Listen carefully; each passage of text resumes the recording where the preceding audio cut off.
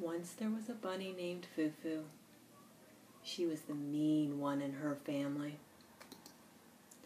Every day Foo Foo would go down to the field to capture mice. Then the good fairy caught her.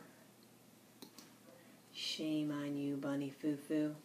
Stop hurting the mice, or I will turn you into a worm. I will give you three chances. Foo Foo didn't listen. She went back to the field to capture more mice. No, Bunny Foo Foo. I told you to stop. Now you have two more chances to stop messing with the mice. Once again, she didn't listen. Good Fairy came down from the sky and told Bunny Foo Foo why she was wrong for hurting the mice. Now, Bunny Foo Foo, this is your last chance. Bunny Foo Foo didn't believe the good fairy.